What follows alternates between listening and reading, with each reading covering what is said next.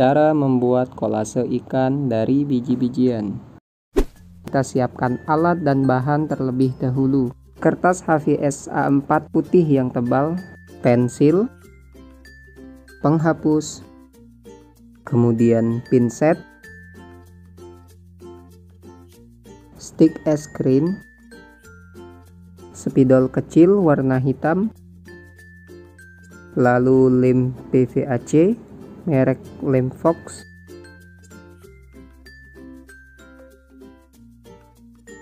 Tahap selanjutnya kita akan membuat sketsa.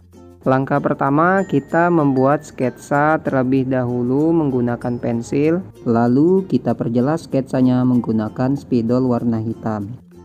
Atau teman-teman bisa juga mempersiapkan sketsa yang sudah di print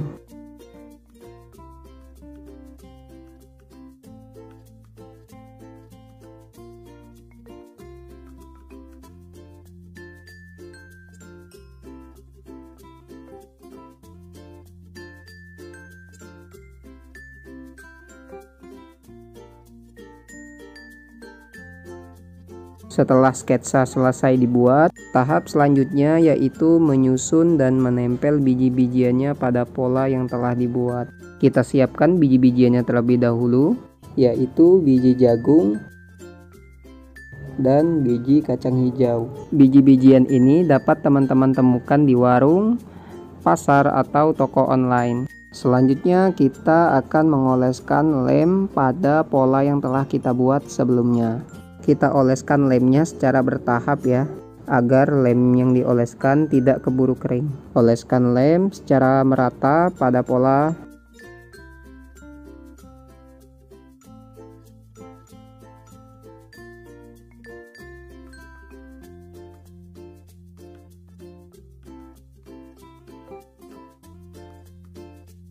Setelah lem dioleskan, selanjutnya kita tempel biji-bijiannya satu persatu.